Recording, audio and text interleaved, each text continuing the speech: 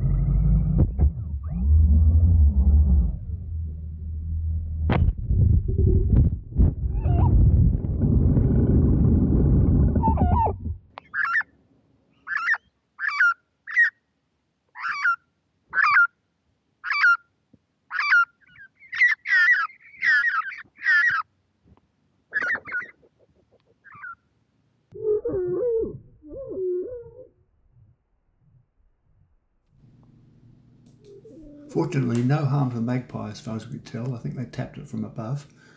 Um, the drone seemed to right. I found out later one of the props was loose. Next time I try to take off. But uh, overall, no harm done, and I guess I'll avoid this park for a while.